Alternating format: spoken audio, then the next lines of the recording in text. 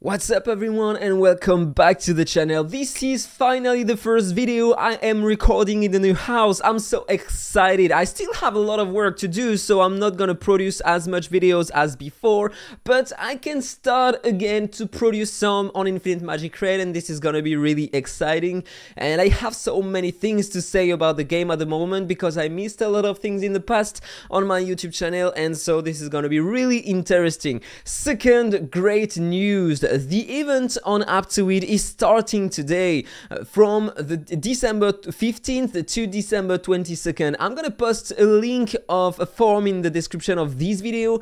The only thing you have to do in order to participate is to fulfill the form and also between the 15th of December, so today, and the 22nd of December, you have to do to make five purchases on Aptoide. Don't worry, you can buy five packs of one dollar only, and the reward is just completely insane. Imagine if you spend only $5, you are the winner of one of the three gift cards. You are gonna be so freaking happy because the gift cards, as I said on my previous video, are gonna be insane. The first price is $1,000 on Aptoide. Yes, you heard me correctly, $1,000. This is completely absurd. This is the first price. This is only AppCoins credits, okay? Okay this is not real money this is coins that you can reuse to buy packs in the game in this game or in another game if Aptoide works with that game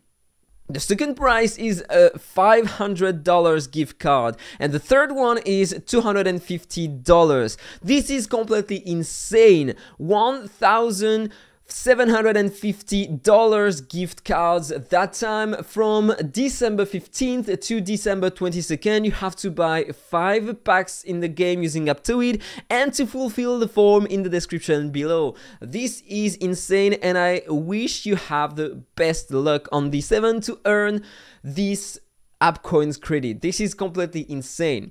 So, um, these are the details. Now, let's talk about the game. As you can see, this is the launcher and you have the new faction behind because we are gonna have the new faction soon, probably next week, because we are gonna have the Miracle Wishes and I don't know if uh, we are gonna have a new limited hero in this faction next week.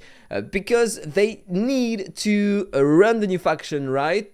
But uh, next week also we are gonna have the Miracle Wishes of Christmas and so normally we should have a new limited hero, so I guess that the new limited hero is gonna be from the new faction. So, more stuff to talk about. Uh, we had an, an update on the cloister.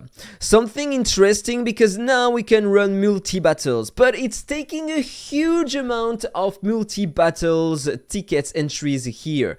Uh, they gave us a bit more to compensate an error occurred on the on the cloister, but yeah, uh, in in fact they increased the number of permanent cards you can get. You can get 3 every 25 fights if you can beat the boss, so it's going faster than before, but still it's taking a lot of time and it's taking a lot of diamonds if you want to refill your multi-battle stamina here. And to obtain all of these, also there is a problem, an issue, another issue. I asked them to do that, I have no answer yet, but you have some keys, right? And at the beginning of the week, on Monday, uh, you you are losing all your buffs, right? So that means you can't farm the uh, stage you were currently farming on the previous week, week, right? So you need to farm again to get your buffs, and so you need to farm lower stages, and so it's using all your keys on lower stages, especially if you want to run multi-battles in order to, in order to acquire them fast, okay? And this is bad. So what I did, uh, I farmed only the 25th, but I did it mostly as in manual because I couldn't auto battle it so I lost a lot of keys because the drop rates are not as high as the stage I am currently able to farm uh, so I wish that in the future near future they add the possibility to claim the rewards or not. Just a simple checkbox so we can decide if we want to use our keys or not. So the second thing is that in order to acquire all the buffs the maximum is 150 uh, it's taking you need to complete 50 times it in any difficulty. And so it's it's using so many multi battles this is completely crazy okay? Completely absurd. So uh, this is what i'm gonna do today. Uh, i have uh, almost done that one. Uh, they nerfed a bit the boss on stage 26 to uh, 30 I don't know about the 31 yet, so I'm gonna complete it and probably add it to my video. Because mm, you have a simple strategy, you need the right heroes in order to beat Nedgia, the boss on the last stage. Uh, you need poisoners and I have a great team. Last week, without nerfing the boss, I was able to beat the difficulty 29 using no limited hero yet, no limited hero. I'm gonna show you the team. If I can continue here. Uh, this is the team. No, this is not the team I was using. That one. Really important. Just let me explain it to you. Dakota needs to have the exclusive 2 minimum, okay? So she can revive at the beginning of the fight. This is really important because Nedgia, the boss, is gonna play before all your heroes and so he is gonna uh, one-shot one of your hero. Dakota with the exclusive 2 is able to revive that hero. Really important. And then Melot is also an important hero. She is here in order to make your other poisoners pursue the target and so they can put an extra poison on the boss, reducing the of special buff the boss has and so he can't one-shot your heroes after that. It's really important. But if you don't have Melot, you have other epic solutions. Same comment for MacD because in the team I have Nordak. Nordak is increasing your uh, HP if you have the exclusive 3 on him, applying a lot of shield on your heroes and the damage immunity really important in this content so you don't need MacD uh, to uh, apply the shield on your heroes and protect your heroes.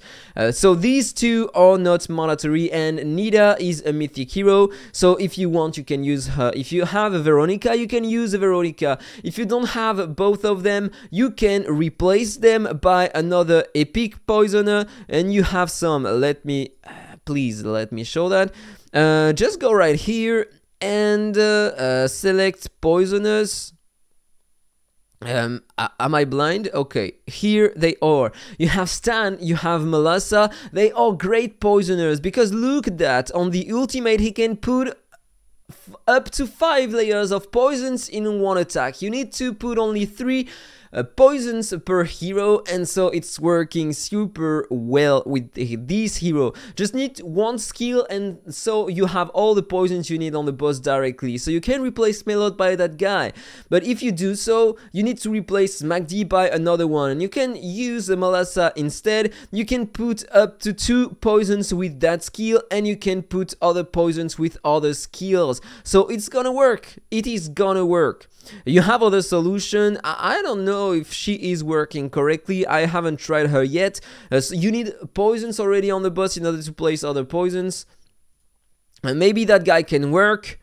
Uh, one layer of poisons and then he has some counter attacks so probably he can put some poisons on the bus but yeah this is not that um, efficient and maybe that guy, I don't remember how many poisons he can put, only one per attack I think, so he is not a great one. But Stan and Malasa, trust me, they are great poisoners. Uh, you have also Taff, but he's not gonna apply a lot. You have that guy, he can apply two poisons at once. It's an interesting guy. Also, when he takes a hit, he can place a poison on the opponent, and he's gonna passively increase the poison damage you are gonna deal and reduce the damage, direct damage you are gonna take, depending on the layers of poisons on the boss. Really, really, really interesting. Okay, so here we are. This is the final boss of the stage 31 and this is the team I'm gonna use as I said right before. So let's try the fight to see if he is harder than the previous stage. Yeah as i was saying look at that. He has four layers of this unique buff on himself. This is one more layer than on the stage 30 because as they said they nerfed the boss on, on difficulty 26 to difficulty 30 okay? So from 26 to 30 now they have only three layers as on previous stages and uh, starting on the difficulty 31, he has four layers. So now at this stage, you are forced to use this team with four poisoners at least. Because in order to remove one layer on the boss, you need to put uh, three poisons with one different hero each time, okay? So this is also why Dakota Exclusive 2 is mandatory. As you said, he played before my heroes and he one-shotted my Melot. If you have a look to his speed, 3044. Also, he has 180% effect resistance. This is what uh, this is why you need to have a ton of buff cards to increase your effect hit, okay? Now let's check how much effect hit I have on my heroes. 203% here 233 uh, 200 and uh, 212 okay this is important really important and then you need to have a lot of shielded effect shield effect cards to increase the survivability of your heroes because your Nordak is gonna apply great shield on your heroes so Let's apply that buff. Let's use that. One poison on the boss, okay, it's not sufficient. Increase my speed with Dakota. Uh, more poisons on the boss, and as you saw, he lost one layer of that buff, and my Nita has that buff above her head. That means she can't have more than one, okay? This is why you need multiple poisoners in your team. So now let's apply a shield. And because the boss has only 3 layers now, he can't one-shot my heroes using the first active skill. Otherwise, she, my Melot would be dead uh, no matter the buffs on her head, okay? So now I'm gonna use that skill so my poisoners are gonna pursue the boss because they already uh, put a poison on him. Now I'm gonna use the basic attack to apply another poisons. Poison, so now two layers only on the bus. One layer is on my Magdi, one is on my Nita. So that time I'm gonna use that skill and normally I have a lot of poisons on the bus so she is gonna re uh, replace them by the same amount of poisons and so she's gonna get that buff on her head. Normally. Yeah, that was the case. So now only my Melot needs to apply a poison on the bus otherwise this is gonna fail. And this is okay. So no buff anymore on the boss. He lost one turn of cooldown on the ultimate and now I'm gonna be able to tank the next attack. And this is how it goes. Uh, po using poisons, as you see, uh, yeah, this is be behind me. As you see, the boss has 3 billion HP. This is insane. Using other kind of damage is not gonna work or this is gonna take a lot of time, but it's not gonna work because if you can't place poisons on the boss, you are gonna be one-shotted no matter the buffs you're gonna have. But with poisons and a ton of gift uh, of buff cards, you can reach really really high attack mastery effect hit speed shield effect etc and this is really important i'm gonna put that again put more poisons on the boss and he's taking a lot of damage. So now as you can see no one no none of my hero is dead. But the boss every time he's using the ultimate he's getting the uh, layers of this buff back on him on his head. So you need to be careful with your cooldowns to be able to put again 3 poisons per hero. Okay, only 2 layers remaining. My Dakota is gonna make my heroes pursue the boss and apply one poison. Think I need one more poison with my Magdi and two with my Melot. Um, let's use that. Okay, only one layer remaining. This is my Melot. And this is okay. And normally I, I can run that in auto and it should work. Now, thanks to the update we had this Thursday, you don't have to worry about losing the fight because if your entire team is defeated, you are not gonna lose your heroes. You can replay, and this is so freaking great. So you don't have to uh, exit the fight, but be careful because if you win the fight, we, uh, losing one or two heroes, uh, you are not gonna be able to use them on the next stage. And as you can see, it is working. Three layers remaining on the boss I have 5 poisons on my Melot, I hope that the shield can tank, and yes, it was the case. This is why HP buffs, shield effects, shielded effects are also really important. But the effect hit is the most important thing. And I lost one hero, and I think that I'm gonna lose. Okay, for now I'm still alive. Can I win that? I don't think because now the boss has all the layers on, he on his head, and so I can't deal enough damage, and he is healing himself. So even with that, it's not always working. You have to die and retry. But I was close. Yeah, the revive. Now I put the poisons. Uh, normally the smart casting, I said it as I said on the on the previous fight. So it should be it should work. Only one layer remaining with my Melot, I guess. Yes, this is my Melot, and this is okay. So one turn of cooldown increase on the boss ultimate. Speed increase. Now it's just a matter of time normally. Yeah, it's not taking a lot of time if you have the correct buffs on your heroes and the correct stats. Because I increased a lot the speed of my heroes and the effect hit, and I lowered their attack and their mastery with the gear. That was really important for that specific boss only.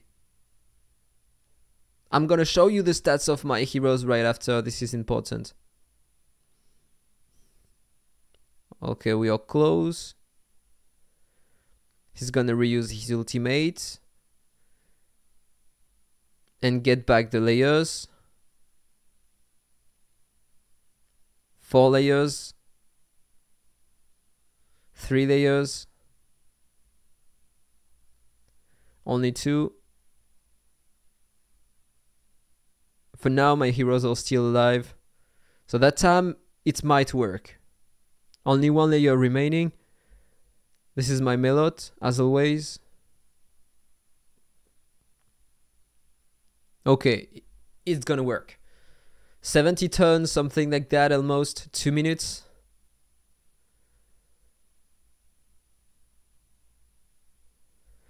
And that's perfect, I can continue. What am I gonna get? This is the two last I was needed. And Horrify Resistance. Who is using Horrify? Today. This is and this is what I get uh, most of the time. Um, okay. Gonna have to try to get higher, uh, to reach higher stages. Maybe I can get something interesting in higher stages. I don't know. So let's check my heroes. This is my Nida. As I said, I have a lot of speed on her, okay? I have a speed set and uh, a first aid set. 47k attack and I have 143% effect hit and 113% mastery only. Okay, so if you are curious, this is the echo I'm using on her to increase her mastery. Uh, I'm using the aura so she has a bit more attack and effect hit during the fight. Uh, in terms of blessing, I'm using uh, that one 1.1% uh, this is a joke, this is not great, but that one is a mythic one with the rank C. This is not a great one, but still increasing her poison damage, so I'm using it. Uh, then, uh, these, these are all the emblems of my Nida. Okay, so then the next poisoner, where are they? This is my Dakota, 2378 speed. I'm using a first aid set and a speed set, a 39k attack. I have a 146% effect hit and 115% mastery. Almost the same gear. Using this Echo, so she has a bit more effect hit. I'm using the aura, so she has a bit more mastery during the fight. No blessing for now. Emblems, this is what I'm using at the moment. Uh, then this is my Magdi two speed sets.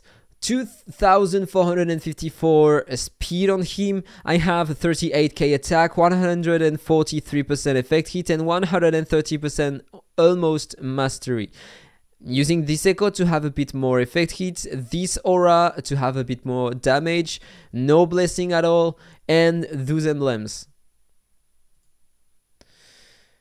Okay, for her, and this is my Melot. I have two speed sets, 2285 speed, 41k attack, 140% effect hit, 125% mastery. I'm using this echo. This is her echo, so she has more mastery and she can uh, increase the damage of the others when she makes them pursue the target. Uh, aura, the same as the others, no blessing, and these emblems. And the last one was my Nordak. Okay, this is my one of my main characters. So I'm using a feather set and a speed set on him. He has almost 900k HP, 2700 speed, and this is mainly uh, the stats he needs. 61% crit rate and a bit crit damage, but this is mostly because of the Sanctuary, to be honest. And yeah, this is a nice hero. I'm using this Echo so he has more HP during the fight it would be yeah, even better if he, I got some stars on it, but yeah, it's already great. Uh, this aura, so he has more HP and even more in Dwarven Ruins. I'm using those blessings, 3.8% uh, more HP and uh, 2000 flat HP, and these emblems. Oh, and before ending the video, I wanted to summon, because there is the Double Legend event, uh, there is this new kind of event, you need to spend a huge amount of excellent wishes, I don't know if it is gonna stay forever until you can claim the rewards, but you can get a chest on which you can select the hero you want, uh, you have five different choices. This is really interesting. Nobody is interesting me in this um, banner, so for the first time, I'm gonna set it off. And I'm gonna summon one pity in order to get what I uh, to see what I can get. So let's do it. With 10 pools, just to claim the double legend hero. Okay, the first 10 pool. Verto. I'm not using him anymore though. Okay, I never used that one. I wonder who am I gonna get. As I said, this is the first time I'm setting off the banner. So I'm curious to see who am I gonna get. And I have the new guy of the banner. This, this is funny, right? When I don't set off the banner, I never get, almost never get the new one. Oh, uh, wait a second. No, he was a new one from another banner, right? He's not in this one. What am I saying? What am I saying? So, close to the pity as always. Maybe here. Okay. A Fiona exclusive 4. And a lamb. Not usable. He's not usable today, so that was my double legend. Hope you've been more lucky than I. I'm gonna tease you a bit for the next video. I'm gonna show you the team I am currently using in PvP because uh, there is two variation of that um, of that team. Um, I'm gonna show that to you. This is the one. I'm using Nilua finally, and she is an amazing hero for this kind of content. I have almost 100% win rate using that team. Only one guy, uh, I'm losing against one guy, and this is Bailey, but this is normal because this is Bailey, okay? And the variation is replacing Nilua by uh, Ronai. She is another great hero and I'm gonna showcase that in another video. So, so stay tuned, have a nice day and see you soon. Bye bye.